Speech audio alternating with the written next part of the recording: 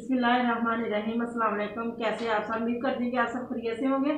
अल्लाह का शुक्र कि मैं भी ठीक हूँ, मेरे तमाम देखने वाले, सुनने वाले जहाँ रहे खुश रहे हँसते रहे, मुस्कुराते रहे। अल्लाह ताला आपको ज़िंदगी तमाम खुशियाँ ता फरमाए।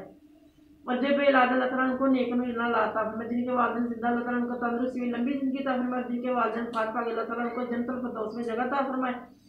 अल्लाह ताला आपको और आपके बच्चों को मुस्तबिल में कामयाबियाँ ता फरमाए, ढेर सारी खुशियाँ ता फरमाए। तो इसी नेक दुआ के साथ आज की वीडियो करते हैं, शुरू वीडियो शुरू करने से पहले मेरी आपसे हमेशा की तरह गुजारिश है कि मेरे चैनल को सब्सक्राइब करें, मेरी वीडियो को लाइक करें बहन भी के साथ शेयर करें, साथ में जो घंटे का बटन उसको दबा दें, ताकि मेरी हर नई हमारी वीडियो का नोटिफिकेशन बर वक्त आप लोगों तक पहुँच सके। तो अभी मेरी इतनी दिनों से वीडियो नहीं आ रही थी। आप लोगों को बताते कि मेरी वीडियो क्यों नहीं आ रही थी। मेरी तबीयत कुछ ठीक नहीं थी, इस वजह से मेरी वीडियो नहीं आ रही थी। और जब इंसान तंदुरुस्त होता है तो इंसान को ऐसे लगता है कि जैसे वो उसको कभी कोई बीमारी नहीं आएगी और वह सदा इसी तरह रहेगा। जब बीमारी आती तब पता चलता है कि सेहत क्या चीज़ होती है। और मैं हॉस्पिटल जा रही थी कार्डियोलॉजी, और वहाँ से मैं मेडिसिन वगैरह उन्होंने मुझे ये जो मेडिसिन लिख के दी है, ये वाली एक उन्होंने ये लिख के दी है, एक ये लिख के दी है, एक ये लिख के दी है, एक ये और ये एक ये है। तो इतनी सारी उन्होंने दवाइयाँ लिख दी है और एक शरबत है।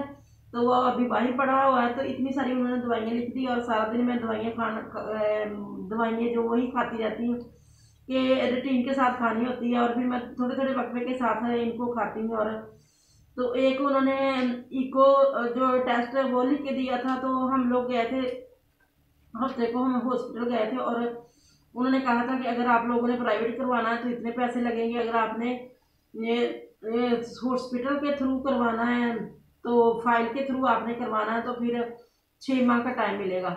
और एक और हॉस्पिटल बताया था, अगर आपने वहाँ कर, से करवाना तो वहाँ थोड़े कम पैसे लगेंगे, आप उधर से करवाना चाहे तो उधर से करवा लें। लेकिन मैंने और बच्चा साथ गया तो हमने, दोनों ने आपस में हमने बातचीत की और आपस में हमने सलाह की।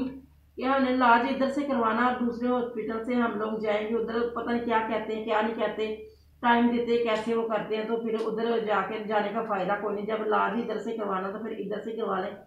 और पिछले दिन में बहुत ज़्यादा तबीयत ख़राब है आपकी तबीयत कुछ इस तरह से तो फिर डॉक्टर ने कहा था कि आप करवा के जो रिपोर्ट है तो आप ये वाली दवाइयाँ जो ये खाएँ, सारी दवाइयाँ जो उन्होंने लिख के दी है ये वाली पंद्रह दिन खाएँ। अगर आप लोग, आप इससे आपको आराम रहा तो आपने ये मज़ीद बढ़ा लेनी है, एक माह तक खानी है। अगर आराम आपको ना रहा तो आपने फिर ये जो, उन्होंने मुझे टेस्ट कहा था, ये करवा के तो रिपोर्ट लेके तो फिर आप लोग, आपने आ जाना और चेक करवाना है, पंद्रह दिन के बाद। तो आप ये रिपोर्ट करवा ली है तो देखें क्या इसमें आया और पंद्रह दिन के बाद अगर अल्लाह का शुक्र है अभी तो कभी बीपी हाई हो जाता है कभी सही हो जाती हूँ कभी तबीयत ख़राब हो जाती है। तो अगर हफ़्ता तो आपकी मंगल बुध आज चार पाँच दिन हुए हैं अभी तकरीबन कोई आठ दस दिन बाकी है। तो अगर ये दवाइयाँ खाती जाती हूँ अगर इससे इस, मैं ठीक रही तो फिर मजीद में पंद्रह दिन और खा लूँगी अगर ना ठीक रही तो फिर जाएँगे दोबारा। चेक करवाएँगे। और कुछ लोग होते हैं, उनको अल्लाह ताला की तरफ़ से जो दुख बीमारी तकलीफ़ आती है, और कुछ लोग आपकी ज़िंदगी में ऐसे आ जाते हैं कि जो आपको इस हद तक पहुँचा देते हैं कि आप लोग तरह तरह तो तरह तरह की जो बीमारियाँ हैं, वो उसमें मुबतला हो जाते हैं। कुछ लोग होते हैं कि वो कहते हैं मेरी सास कहती होती थी कि आज के नंबर नौ चुरा चुडवान कुछ लोग होते हैं, नंबर न होते हैं, वो किसी बात को सीरियस नहीं लेते, अपनी दुनिया में मगर रहते हैं दो जो दिल चाहता करते जो दिल चाहता वो, उनका उसी तरीके से वो चलते हैं और वो ये नहीं देखते कि किसी की बात से किसी को कितनी तकलीफ़ होगी। लेकिन मेरी शुरू से यही आदत है कि मुझे ज़रा भी कोई बात करे या कोई बात हो तो मैं उसको उसको बड़ा अपने सर पे ले लेती हूँ, बड़ी टेंशन लेती हूँ, जिसकी वजह से मैं यहाँ तक पहुँची हूँ कि कुछ लोग आपकी ज़िंदगी में ऐसे शामिल हो जाते हैं जो आपको तरह तरह की बातों से आपको जलील करते हैं और तरह तरह से आप लोगों को दुख और तकलीफ़ देते हैं। तो इस तरह से आपकी ज़िंदगी में होता है फिर आप लोग अपनी जो जान उसके साथ खेलते हो अपने ऊपर सारी वो दुख, जो तकलीफ़, उसको हैवी कर लेते हो और अपनी ज़िंदगी में फिर इस तरह की दुख और तकलीफ़ शामिल कर लेते हो। तो ये पता नहीं अल्लाह ताला की तरफ़ से हम जितना मर्ज़ी मुझे बच्चे भी हौसला देते हैं और कहते हैं, समझाते हैं कि इस तरह से ना किया करो, इस तरह से ना किया करो, किसी का कुछ नहीं जाना, अगर कुछ होगा तो आपको ही होगा। लेकिन मैं जितना मर्ज़ी जो मेरे मन में जो बात हो, मेरे दिल में जो हो, मैं उसको जितना मर्ज़ी उसको मैं करूँ कि मैंने नहीं सोचना, मैंने ये नहीं करना, मैंने वो नहीं करना, लेकिन अल्लाह ताला की तरफ़ से वो मेरे दिल में बैठ जाती है और फिर मैं उसको अपने दिल से निकाल नहीं पाती। पता नहीं मेरे साथ ही क्यों ऐसा होता है कि मेरा दिल बिल्कुल साफ़ है और मैं मेरे दिल में कभी किसी के बारे में कोई ऐसी बात नहीं आई कि मैं ऐसा इसके साथ करूँ, ऐसा इसका साथ करूँ। लोग जो करते हैं प्लानिंग के साथ करते हैं। प्लानिंग के साथ करते हैं और धोखा दे जाते हैं और पता भी नहीं चलने देते कि हमने कैसे ये काम करना और कैसे किया। तो अब ठीक है, हमने तो कर लिया। आप बैठो, रहो, पीटो, जो मर्ज़ी करो। तो इस तरह से होता है। और कहते हैं कि जिसका, जिस इंसान का दिल साफ़ होता है, अल्लाह ताला आजमाइश में भी उसको डालता है। लेकिन मैंने ज़िंदगी में बहुत कुछ देखा, बहुत कुछ देखा मैंने ज़िंदगी में, और मैंने हमेशा अल्लाह का शुक्र अदा किया। और कहते हैं कि जो अल्लाह का शुक्र अदा करता है, अल्लाह ताला उस पर खुश होता है। और मैं यही कोशिश करती हूँ कि अब ज़िंदगी के जो पल हैं, वो कितने को होंगे इंसान के, अब तो ज़िंदगी गुजर चुकी है। कोई पता नहीं थी। जैसे पिछले दिनों में मेरी तबीयत ख़राब हुई थी तो मैंने बड़ी मैंने दवाएँ अल्लाह से की थी, अल्लाह कि मेरे बच्चे अभी छोटे छोटे हैं, मुझे ज़िंदगी बख्श दे मुझे ज़िंदगी बख्श दे मैंने बड़ी दवाएँ की थी, मैंने मौत को बड़े करीब से देखा था और मैं अल्लाह अल्लाह ताला से मैंने बड़ी दवाई की। और मैं, मेरी नौकरी इस तरह से है कि मुझे जहाँ मर्ज़ी बुला लेते हैं, मुझे जाना पड़ता है। तो मैं चलती फिरती हूँ, बाहर अंदर जाती हूँ, नौकरी पर जाती हूँ।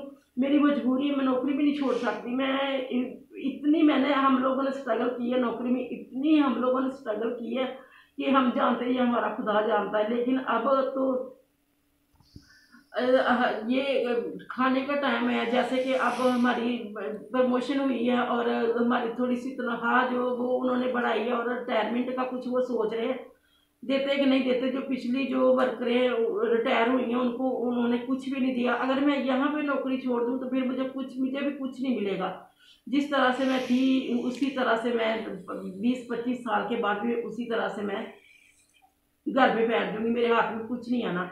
तो इस वजह से मैं जा रही हूँ। कि चलो अल्लाह ने रोज़ी रोटी लगाई हुई है तो मैं क्यों छोड़ के इसको घर में बैठ जाऊँ?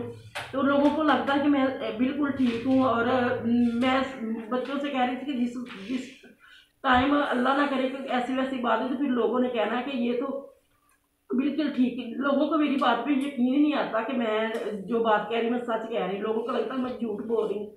और जो झूठ बोलते हैं ना, उन उस पे लोग जो ना, जो भी हो, अपने हो, बगाने हो, जो भी, उस बात पे लोग बड़ी जल्दी यकीन कर लेते हैं और उस बात को बड़ा सहराते हैं। अगर कोई झूठ बाँध के तो बात बता देना तो उस बात को बड़ा सराहते हैं, उस पर बड़ा यकीन करते हैं। और जो सत्य बात बताए, उस पर कोई यकीन नहीं करता। मेरा जबाया हुआ तरीका है कि आप सच को लेके सारी उम्र आप फिरते रहे तो कोई आप पे यकीन नहीं करेगा। अगर आप झूठ बोलते देना तो लोग आप इतना यकीन करेंगे, क्योंकि लोगों को झूठ की आदत हो चुकी है। लोग झूठ सुनते हैं, लोग झूठ देखते हैं, लोग झूठ मारते हैं और लोगों को झूठ की हो चुकी आदत। तो लोग जो है झूठ को सुनना पसंद करते हैं और जो झूठ बोलता है, उसके साथ जो दुनिया उसकी वाह वाह करती है और जो सच बोलता है, वो कहते हैं, ये तो झूठ ही बोल रहा है। तो हम्म, ये मैं आज इमोशनल हो गई थी। अब बंदा को कितनी के देर बंदा जो कोई बात हो कितनी देर बर्दाश्त करता है? आखिर इंसान इंसान को भी तकलीफ़ होती है और जब इंसान को तकलीफ़ पहुँचती है तो इस तरह से हो जाता आप लोग भी कहते होंगे कि ये इसने रोना शुरू कर दिया है। कुछ लोग जब कोई इस तरह की कोई वीडियो बनाते तो कुछ लोग मैसेज कर देते, कमेंट कर देते, ये ड्रामेबाजी है ये, वो, फलान, ये इस तरह से आप लोग जो मर्ज़ी समझे। आप लोग जो मर्ज़ी समझे। मैं जानती मेरा अल्लाह जानता है कि ये कोई ऐसा ड्रामा नहीं, कोई भी नहीं है। ये अंदर का मेरा आवाज़ जो बाहर निकला है। और आप लोगों के साथ मैंने आज तक अपने कोई ऐसी बात मैंने शेयर नहीं की। कि मैंने सोचा कि आप भी जो जितने मेरे सब्सक्राइबर हैं, जो मेरी वीडियो देखते हैं तो उन लोगों को बताना चाहिए और उन उन लोगों के साथ हर बात शेयर करनी चाहिए, क्योंकि आप भी मेरी फैमिली की तरह हो।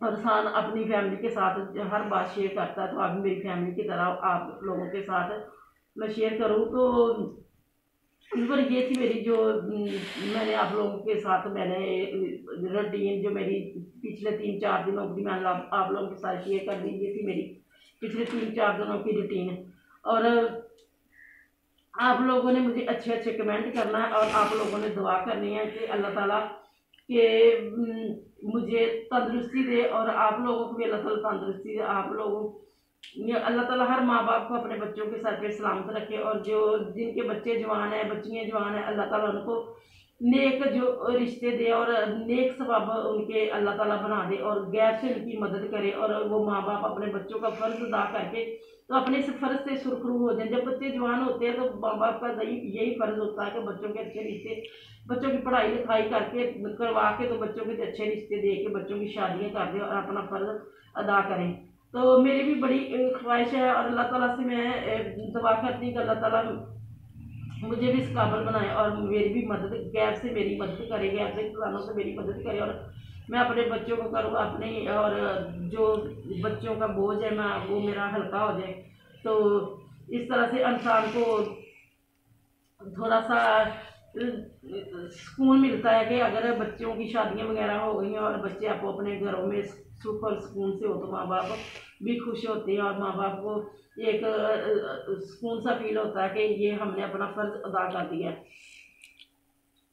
बात ये थी मेरी जो आज की वीडियो इसी के साथ जो मैं आज की वीडियो करती हूँ ख़त्म। और हम लोग जाएँगे अब पंद्रह दिन के बाद अल्लाह करे कि मुझे इस मेडिसन से जो फ़र्क वो इसी तरह रहे। मैंने वीडियो वगैरह में चेक करती हूँ, दो टाइम करवाती हूँ बच्चों से और कभी ठीक होता, कभी नहीं होता। तो अल्लाह करे कि ठीक हो जाए और मुझे कोई ऐसा वैसा ये जो रिपोर्ट उन्होंने करवाई है कि ऐसा वैसा मसला इसमें ना आए और आप लोगों ने दुआ करनी कि मेरी जो रिपोर्ट है वो ठीक आ जाए। तो ये थी जो मेरी आज की वीडियो आप लोगों के साथ मैंने शेयर कर दी है। तो कल एक नई वीडियो के साथ में आपकी खिदमत में हाजिर होंगे। हँसते रहो, मुस्कुराते रहो, खुश रहो। अल्लाह हाफिज़। दोस्तों, जाते जाते आप लोगों से रिक्वेस्ट है कि आप लोगों ने अच्छे अच्छे कमेंट करना है और आप लोगों ने दुआ करनी है कि मेरी जो रिपोर्ट में ठीक आए। अल्लाह हाफिज़।